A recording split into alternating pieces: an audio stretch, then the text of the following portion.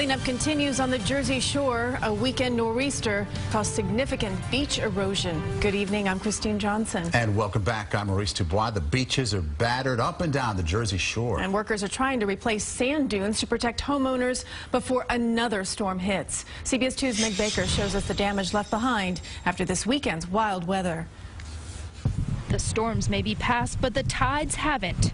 Toms River cleanup crews are still working to move sand into place to protect Ortley Beach homes. After Sandy, everything is almost like a band-aid. This weekend's storm left an eight-foot cliff where the sand was eaten away. The president of the Ortley Beach Homeowners Association says this area is ground zero for big storms because the barrier island is so narrow between ocean and bay.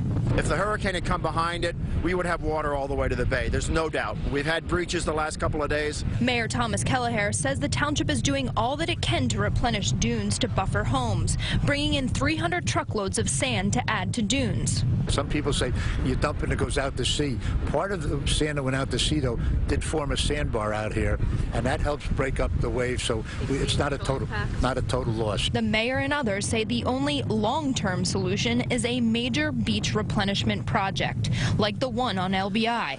But that can't be completed by the Army Corps of Engineers until easements are signed. There are 17 holdouts in Toms River Township. There's still some folks who haven't signed, and if last week wasn't some reason for them to do it, they should come down here and see uh, see what we're faced with here. It's the same story in Brick Township.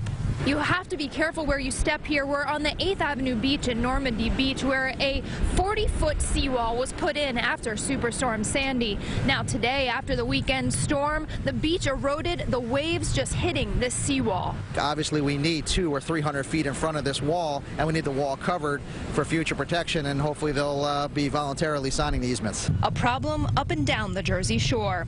In Brick Township, Meg Baker, CBS 2 News. And state officials say that 239 homeowners are still holdouts. So